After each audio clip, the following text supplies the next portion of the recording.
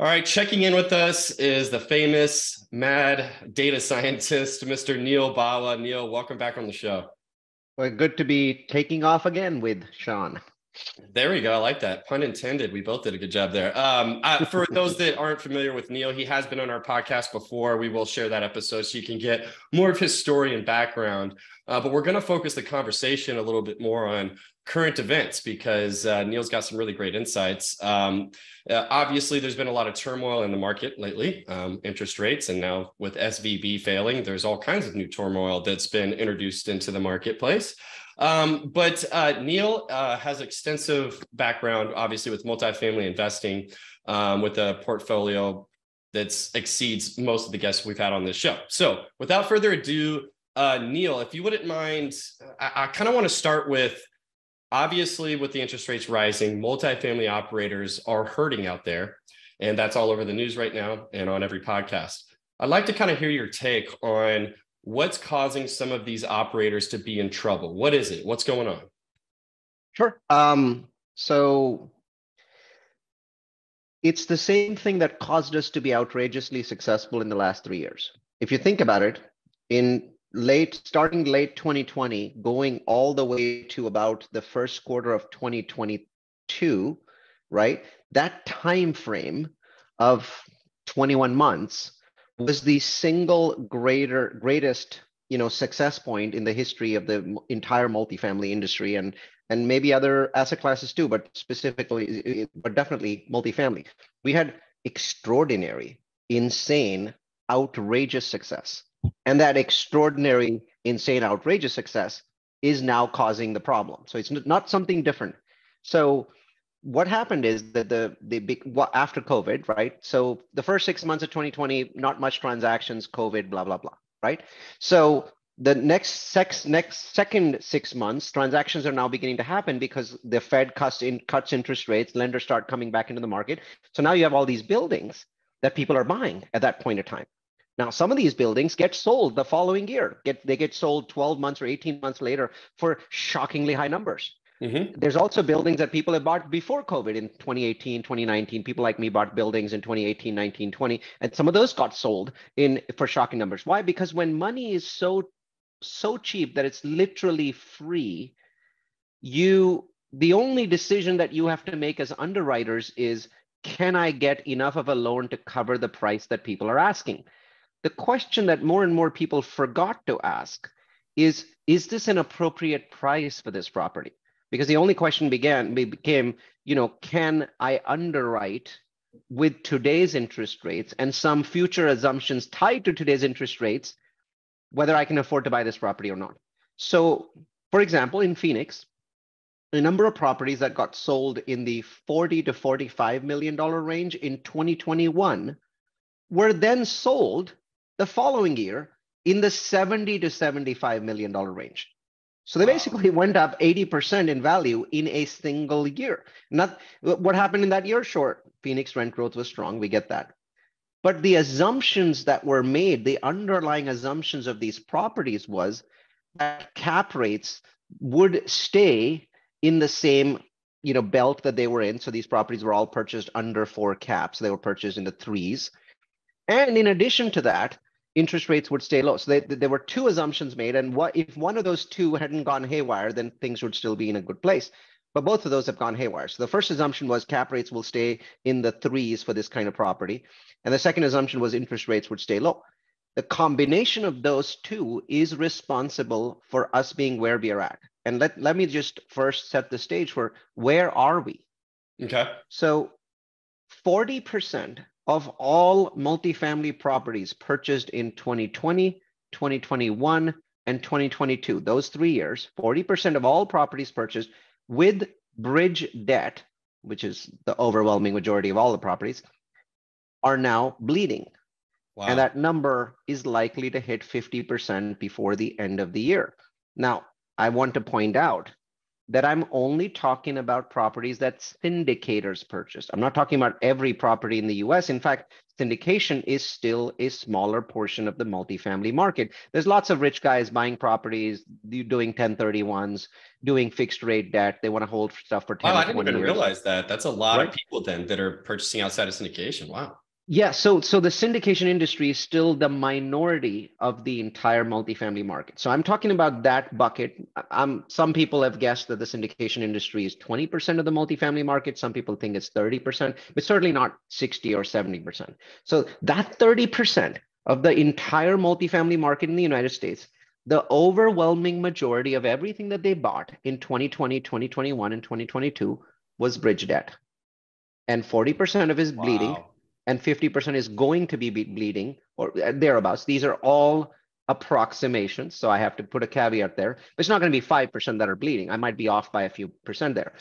And that's huge because we are talking about tens of billions of dollars worth of properties that are bleeding.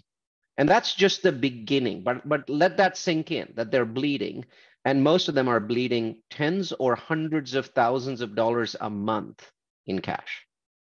So if we're, I have a couple questions regarding this, but the first one that came to mind for me that might come have come to mind for a lot of the listeners is if there that sounds like a ticking time bomb, similar to things that have happened to the economy in the past. In other words, if we continue on this trend, do you foresee a lot of defaults on these mortgages and these properties going back to the bank?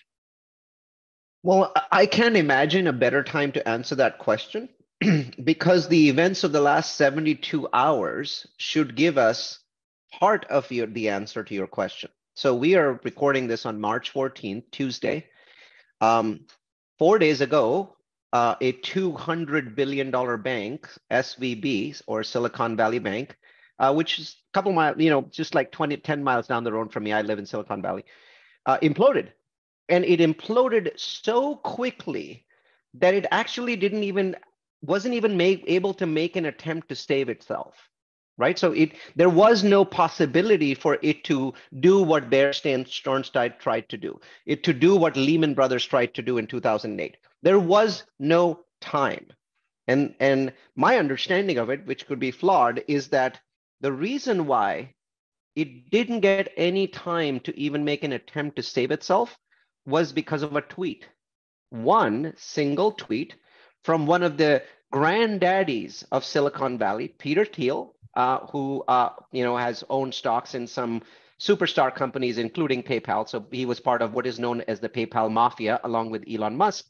But a single tweet from him indicating that the money was not safe mean that the bank never even had to Chase or Wells Fargo or Bank of America, but it never had a shot because it took basically hours for the bank to fail.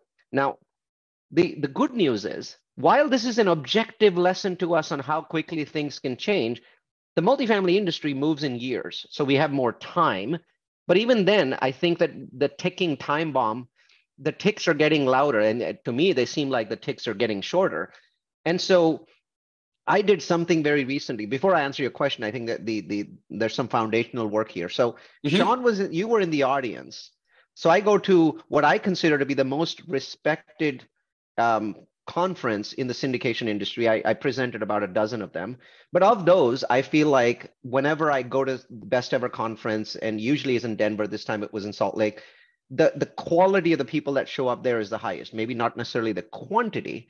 Um, and while there's one larger conference in the industry called the NMHC, that conference is really for the big dogs, not for the syndicators. It, it, mm-hmm. you know, the syndicators don't get any airtime at all. So from a syndication perspective, the best ever conference is the best conference in the industry from my perspective. I agree. And and when I when I went there, I was supposed to do some real estate trends, market analysis sort of presentation. I completed it, it was 40 slides. I put a lot of work into it. I sent it to them and said, I don't want to present this because I feel like the industry needs a wake up because of that ticking time bomb that you're talking about. So I go up there, I'm on stage, I'm talking, I'm telling people a bunch of things that they don't know about, even though they're syndicators managing billions of dollars of portfolio. They're missing some very critical information. So I deliver that in 30 minutes and I come out of the conference room and something strange happens.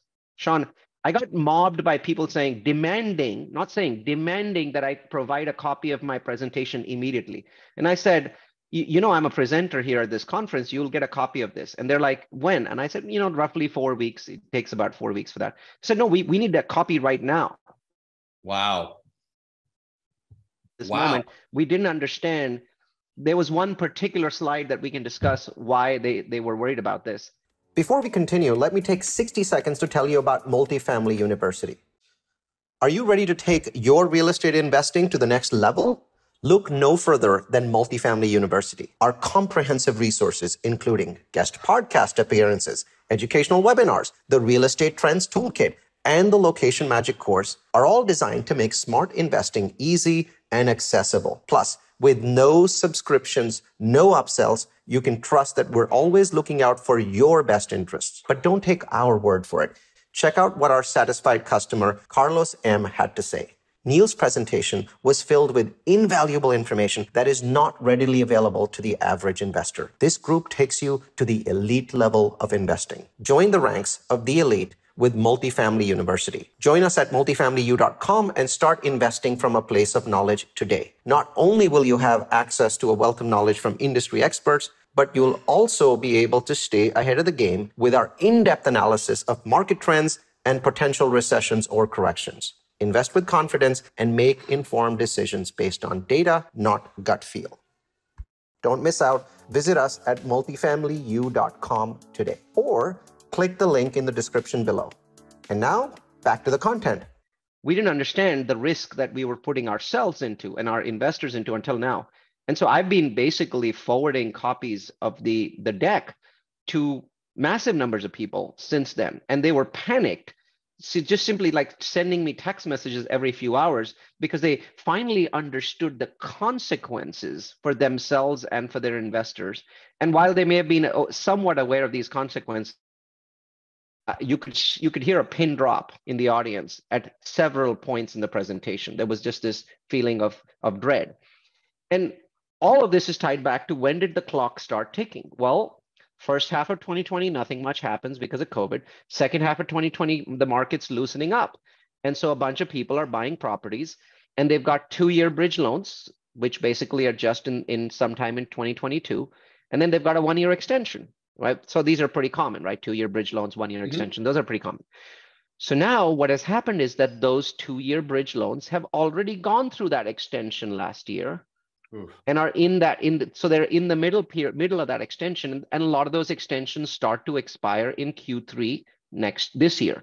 So you know starting july. So somebody who bought a property in july 2020 with all of the free covid money right that was available to them at that point they're here. Now you before you say yeah but some of these you have further extensions. Read the, the i said this in my presentation. Banks are not obliged to execute these extensions you have to agree, they have to agree. Both parties have to agree beyond the first extension. I think the first extension you always get, but the second one you don't get. And so the vast majority of banks that I know of are not planning to allow those extensions. Wow. And so if you don't have an extension, then it doesn't matter if you have a rate cap or not. It doesn't matter how well your property is doing. It could be 20% above net operating income. It could be 30% above its NOI. It doesn't matter because that bank at that point in time wants to yank your loan. And if they yank your loan, you basically only have two choices left, just two. And we're about to have thousands of properties in the United States have just these two choices. Number one, sell your property, most likely at a loss because cap rates have now moved by 125 basis points.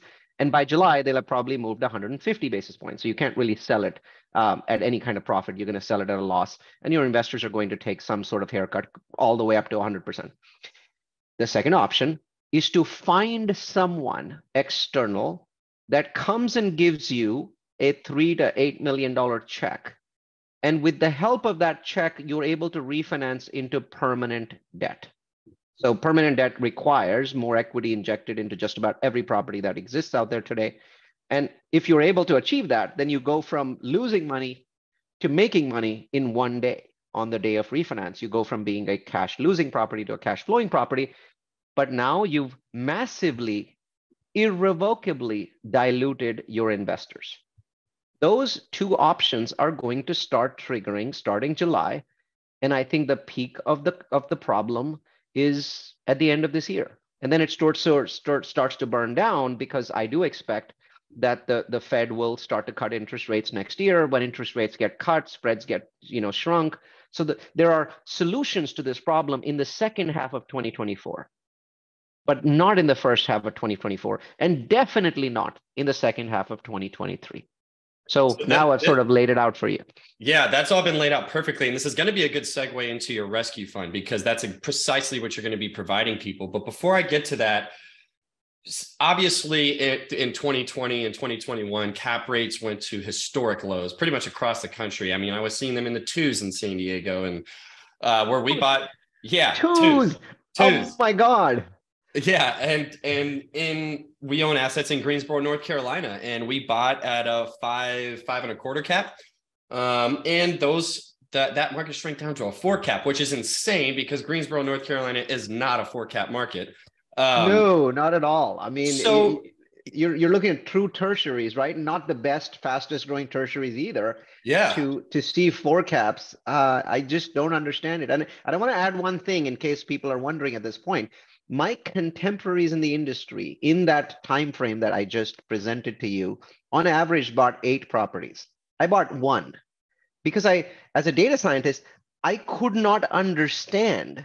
I simply was so many millions away that it actually made no sense for me to engage. So I did other things like industrial and you know self storage and whatever made more sense to me that wasn't three cap.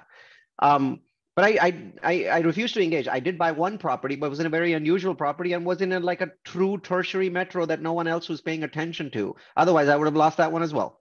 Yeah, I mean, same. Honestly, same here. Now, granted, I've been I have way less experience in this industry than you, uh, but I've been very, very fortunate to have a great mentor, Tony Azar, uh, who's G- co-GP'd on, on our deals. So he taught me uh, when I was underwriting, uh, when he was teaching me how to underwrite, that he likes to do a point or a 25 basis point increase in the cap rate uh, per year that he holds the property. I remember hmm. telling that to people two years ago, a year ago, and we didn't buy any multifamily last year. The year before we had bought in two, and I still haven't bought in any uh, yet, purchased any. Um, when I would tell people how you're not going to end the year that way, Bishan, because if you didn't buy a bunch of properties, I mean, you, you, that that's a very low risk profile you just described. You're going to buy a bunch of properties this year, but it's not. You know, you have to be patient to get into that second half. And I'll tell you, it's, it, it, it, it was difficult and it's still difficult to be patient. And the reason being it's is everybody difficult. seemed to be making a ton of money. My, yeah, everyone around us was just like, I mean, there were companies that went from zero to 1.5 billion in this time frame, right?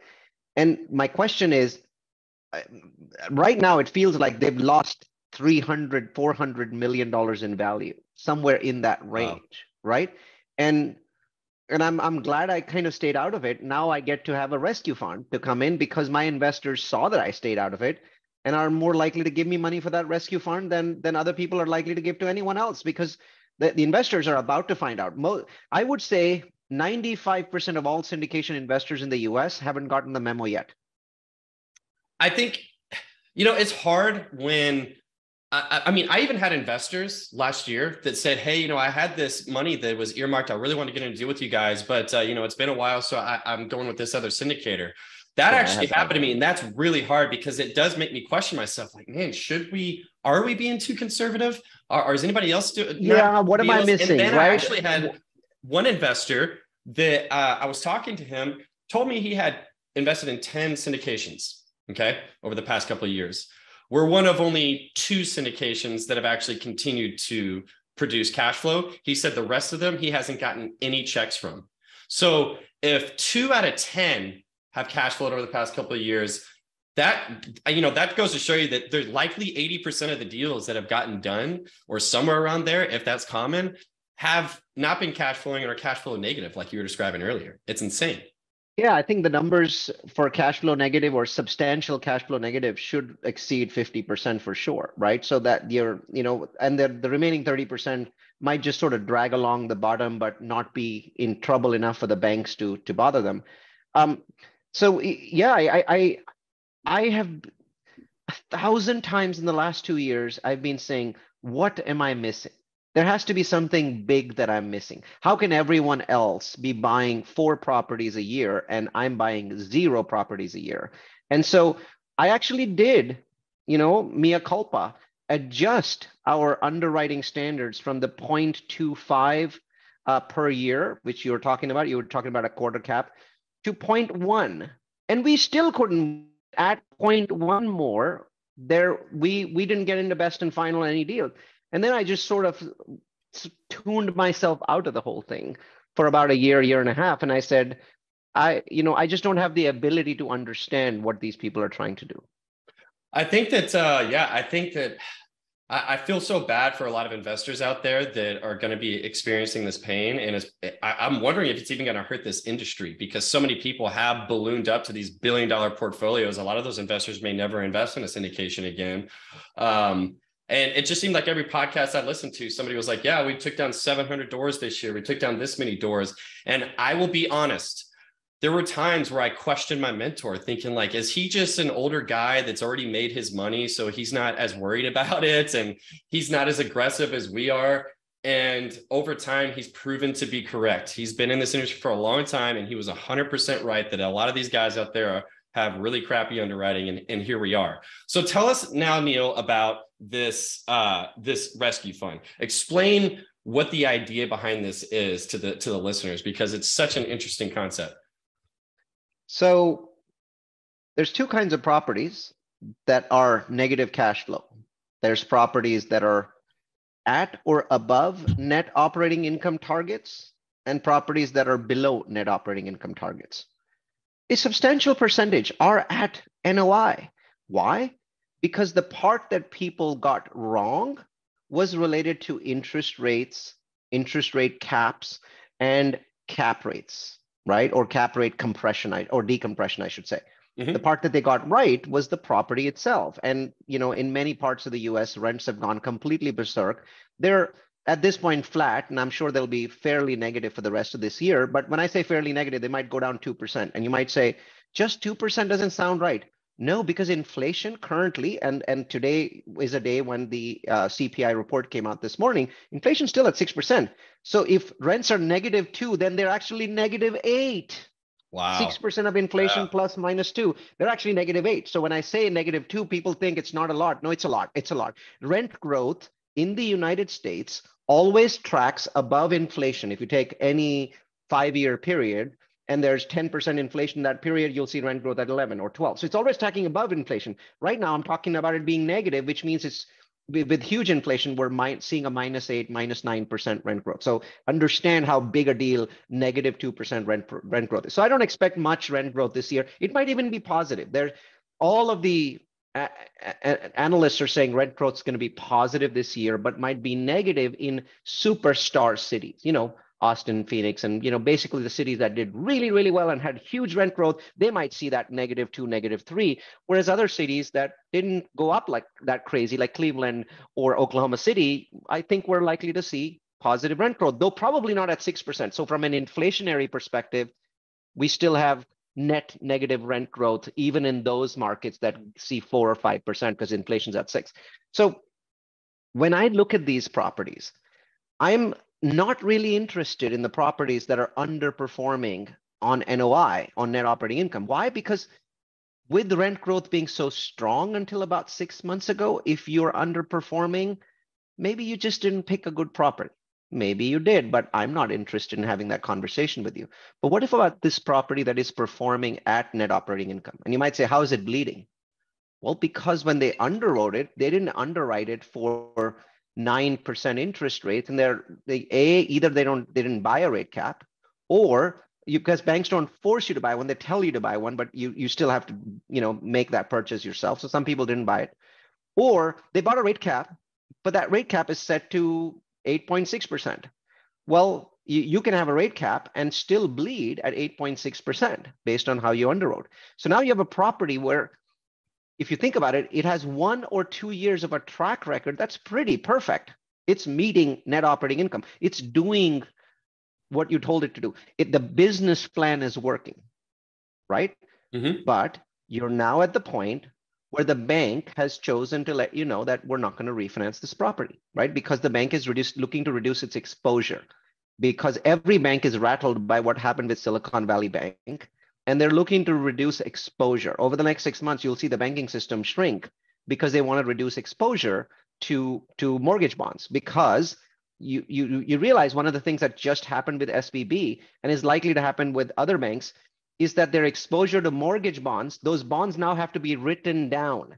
When a bank writes down the value of its assets, it can lend out next money. So the bank starts to shrink. And when a bank starts to shrink, one tweet from somebody like Peter Thiel can bring them down. So the banks are going to want to reduce their exposure to mortgage bonds, right? And we we need that more those mortgages. And so we are going to have many bonds, many banks that could have made the decision to extend our loans that are going to choose to not extend because it's their decision. That well, when that sense. happens, when that happens, we're going to have an extraordinarily bizarre one-time eh, eh, occurrence. I do not believe this will happen again, by the way, in our lifetimes. We are going to have properties meeting net operating incomes or exceeding net operating incomes that are not going to get refinanced. And, and they can't get refinanced to perm debt anyway because the value of those properties has dropped. So maybe you bought them at $40 million and now the value is 35. So there's a $5 million gap. So right? it'd be like a cash in refinance. To do, right. So what you're doing, the, the only thing that you can do, whatever that gap is between 35 and 40. So now you can go to perm refinancing because the moment you go to perm refinancing, if the property is performing at net operating income, it should be cash flowing. It should be making money, right? So fundamentally, this is the concept. It's as simple as that. Now you have to apply it across thousands of properties.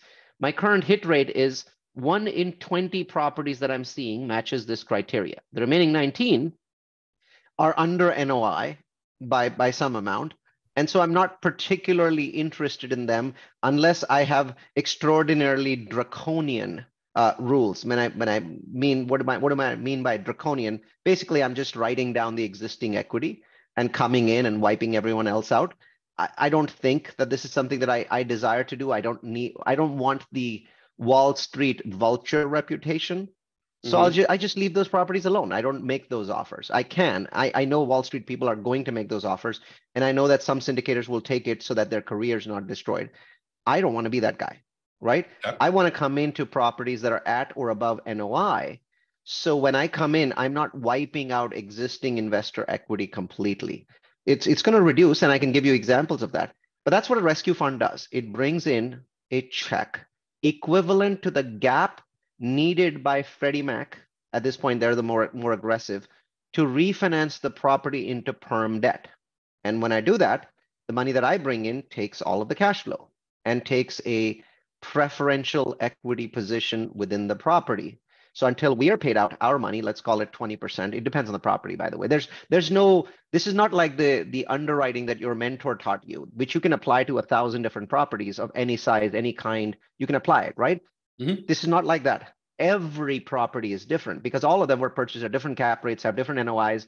So the, a formula is something that we're still struggling to evolve. We're still trying to figure out which of these properties we're actually interested in, right? So my first rule of thumb is, would I have bought this property?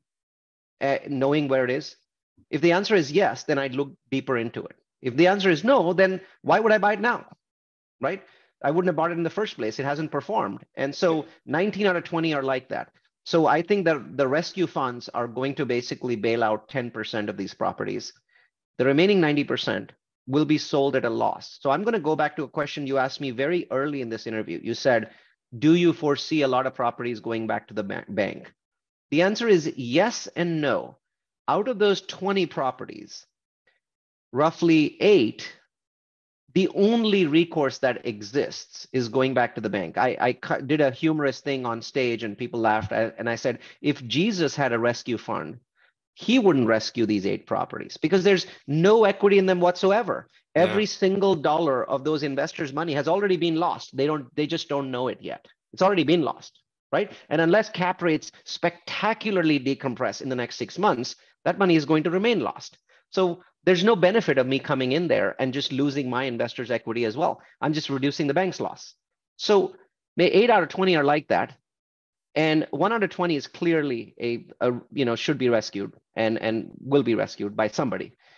And the remaining 11 are basically in are going to get sold because there is sufficient equity for them to get sold with a haircut for our, the investors somewhere between 1% and 99% of their equity.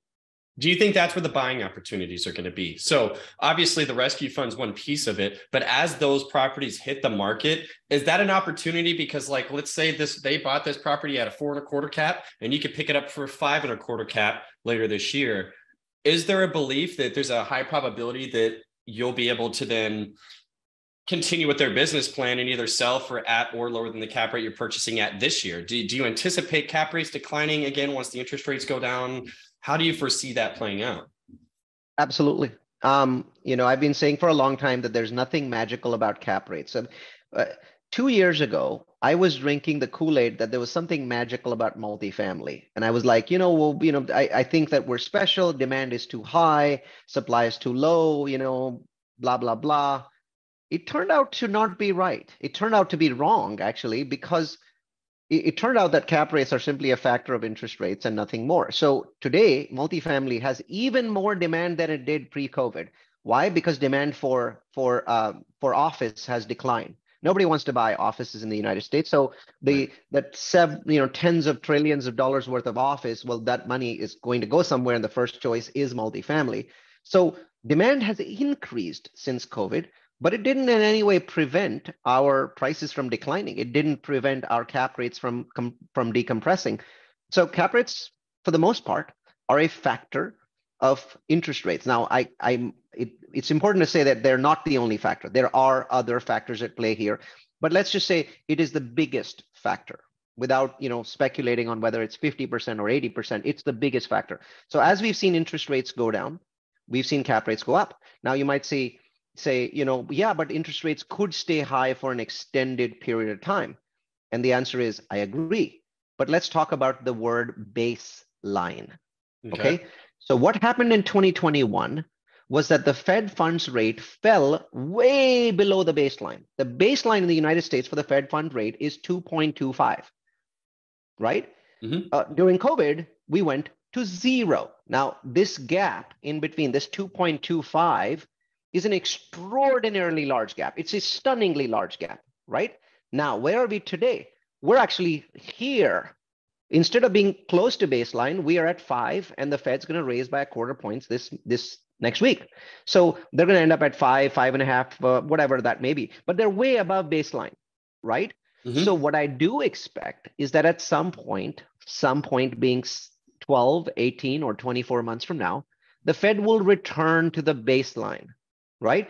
Now, okay. will they go back below the baseline? No, that was a bizarre, you know, pandemic driven occurrence. But we will return to the baseline at some point because the structure of our economy is built on the the Fed funds rate being at or close to the uh, the baseline 90% of the time. So 9 years out of 10 it stays at baseline, right? And sometimes it's slightly above baseline, sometimes slightly below, that's okay. That doesn't really ma- matter to cap rates. So at some point that means that cap rates have to decompress until we hit that baseline. They will never decompress to the threes or the twos unless we have another event of this sort. But they have to compress mm-hmm. because their current rate level has a lot to do with the fact that the Fed funds rate is at five instead of baseline. So I'm one of those believers that believes that at some point, uh, later than most people think, the cap rates will start to compress again but I don't think it's going to help any of these properties.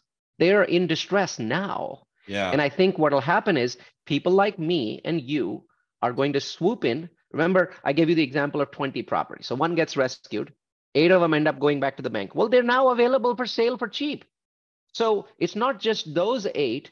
Uh, the remaining 11 have to go into the market, so they have to be sold. But these eight have to be sold too. So now caps that cannot extend their loans all of those 19 properties have to be sold.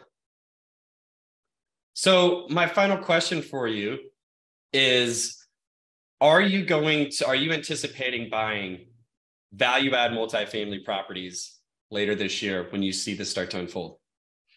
Yes, but I'm going to be patient. I've been patient for so long that I the first thing I'm telling myself is wait.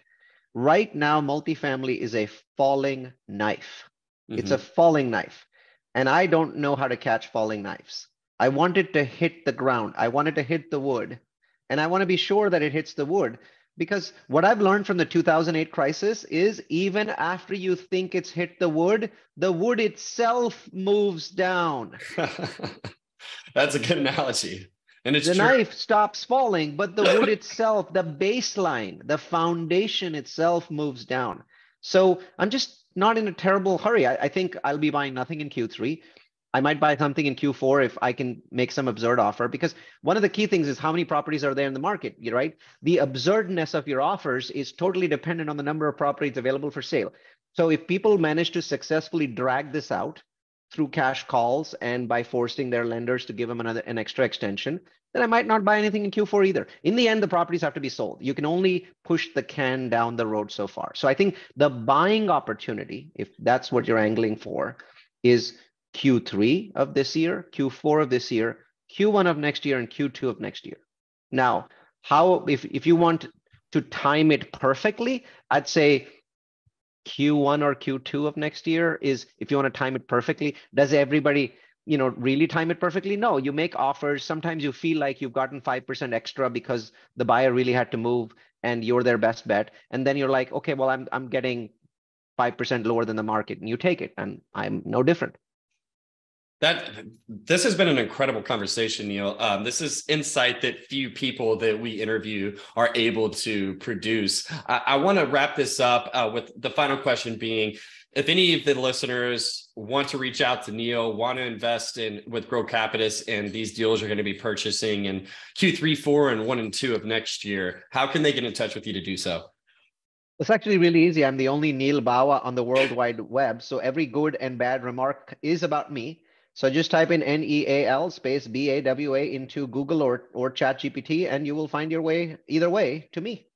That's perfect. Thanks, Neal. Guys, if you're a, fan of Neal like I am, make sure you do reach out to him because he, when he does have a deal go live, it's always an awesome project. On behalf of myself, uh, the entire Takeoff Capital and Real Estate Takeoff team, thank you all so much for listening. Neal, we're going to have to have you on again another year from now to bring more insight to our listeners. Thanks again, man. I really appreciate it. Thank you.